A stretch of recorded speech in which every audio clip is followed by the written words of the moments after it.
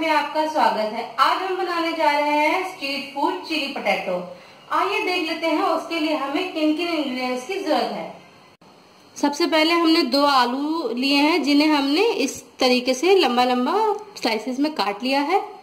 To tablespoon cornflour नमक लिया है हमने chilli flakes red chilli powder black pepper crush करा हुआ, दो हरी मिर्च क्यूब्स में कटा हुआ प्याज क्यूब्स में कटा हुआ शिमला मिर्च और बिल्कुल फाइन चॉप किया हुआ गार्लिक आइए सबसे पहले हम अपने, ये जो हमने आलू को लिया है चिली पटेटो बनाने के लिए, उसमें हम टू टेबल स्पून कॉर्नफ्लावर डालेंगे.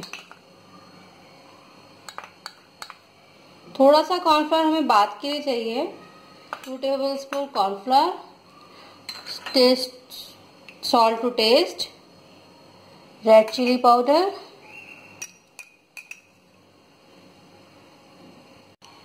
थोड़ा सा हम इसमें जो हमने क्रस्ड काली मिर्च लिया है, उसे डाल देंगे और इसे अच्छे से मिला लेंगे। इतना हमें बिल्कुल अच्छे से मिलाना है, जिससे कि जो हमारा कॉर्नफ्लोर है, सारे आलुओं में अच्छी तरीके से लग जाए। देखिए, हमने आलुओं को अच्छी तरीके से मिला लिया है। अब हम इन आलुओं को डीप फ्राई करेंगे। देखिए, हमने कढ़ाई में तेल डाला है। तेल हमारा गर्म हो गया है, उसमें हम अपनी पोटैटोस को फ्राई कर लेंगे अच्छे से।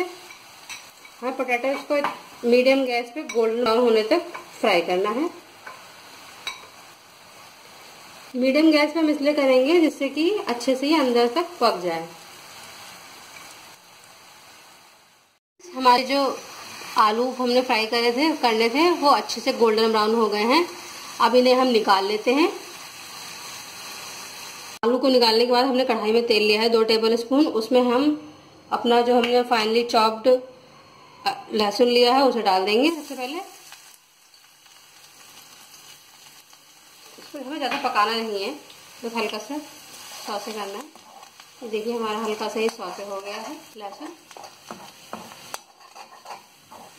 उसके बाद हमने जो ये क्यूब्स में अपना अनियन काटा था, उसे डाल देंगे। साथ में ग्रीन चिलीज,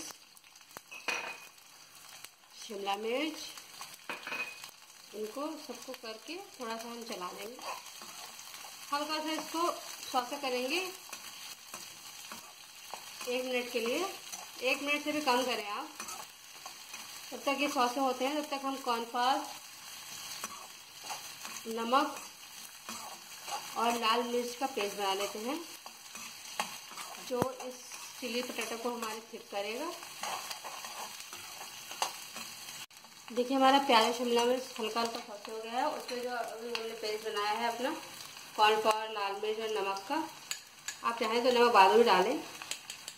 उसको हम इसमें डाल देंगे।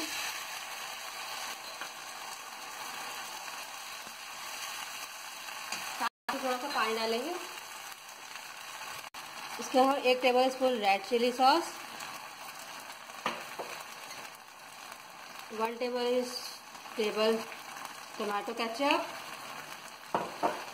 half tablespoon red chilli powder crush black pepper salt to taste chilli flakes थोड़ा सा हम विनेगर डालेंगे। वो आपकी टेस्ट पे डिपेंड करता है। आप डालें और चाहे ना डालें। मैं हल्का सा डालूँगी। हाफ़ टेबल स्पून से भी कम। इसको अच्छे से चला लेंगे।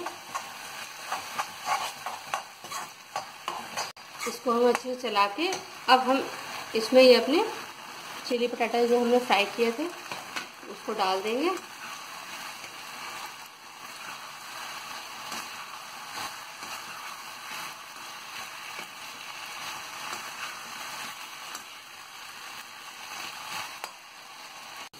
इसको हमने अच्छे से मिला लिया है और हम गैस को अपने बंद कर देंगे और इसे एक सर्विंग डिश में निकाल लेते हैं। देखिए हमने अपने चिली पोटैटोज को सर्विंग डिश में निकाल लिया है। आप चाहें तो इसे ग्रीन अनियन की पत्तियों से डेकोरेट करें या आप हरी धनिया से भी इसे डेकोरेट कर सकते हैं।